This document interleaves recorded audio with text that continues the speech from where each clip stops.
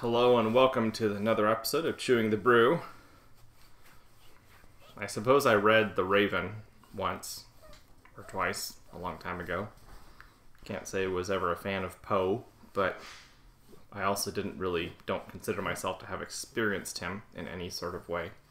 Um, but I suppose being familiar with um, depressed poets, no matter their skill level, is not required in order to enjoy Black Raven's Grandfather Raven Stout.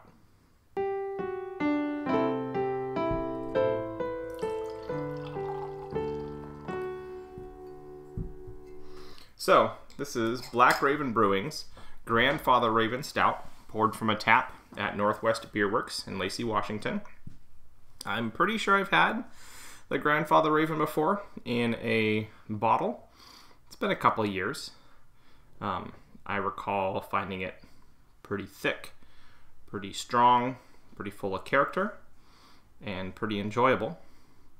Um, as I've poured it out here, it's almost got a kind of a hot chocolate uh, thing going on here with that kind of frothy, bubbly head, rocky head. Uh, it's you can see the like the bubbles staying on the glass as it as it pulls away. So it's a nice medium, maybe heavy bodied. Oh yeah, that's heavy. Full bodied beer. That's nice. Mmm. Okay, to smell molasses. Lots of molasses. Molasses and there's something salty, maybe wood smoke down on the back end. Um, like like from a, a campfire wood smoke from a campfire, so you're smelling the, the pine.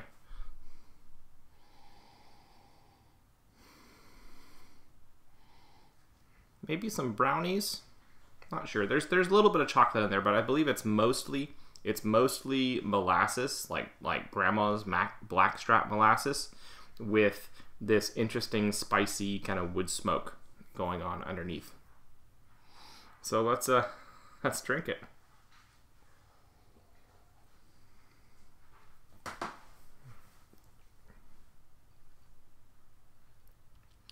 That's a savoring beer. It is very much a savoring beer. There's almost a, a tobacco note going on there too.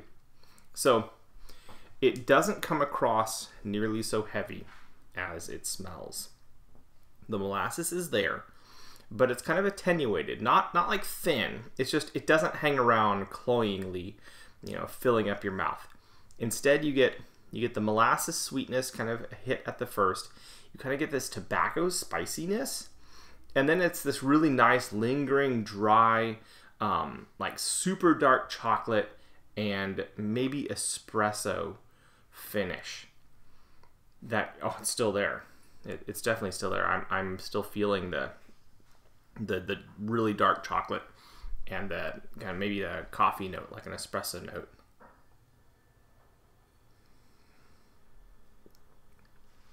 that's really nice the danger with these super stouts can be that they are cloying, they are candy like, um, particularly when they do something silly like age it in maple syrup barrels or something.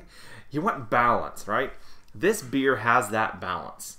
Uh, Grandfather Raven by Black Raven Brewing has that balance. Yes, it's it's thick and it's got the sweetness, but even at the beginning now, tasting it again, that that dark chocolate kind of backbone foundation starts at the beginning too. So with the sweetness, balancing the sweetness of the, the, the thick sweetness of the molasses, you always have this counteracting and balancing dark chocolate that just ties the whole beer together. That very, very nicely.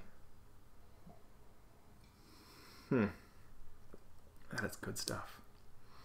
Um, yeah, really good stuff because of its complexity, I think that this would probably pair nicely with a maybe a, a darker, medium or dark, dark, uh, medium or full-bodied cigar. I guess a darker cigar. Um, you could also, I mean, just start.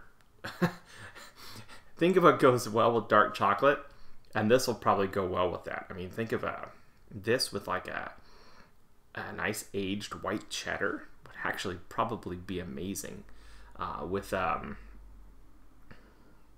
even a slice like homemade apple pie, not not super sweet, but with the good Granny Smith apples, that would actually go very nicely. This, like I said, this is a savoring beer.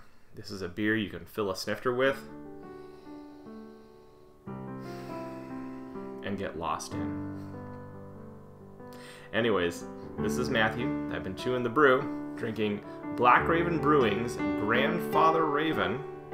And I will catch y'all on the flip side.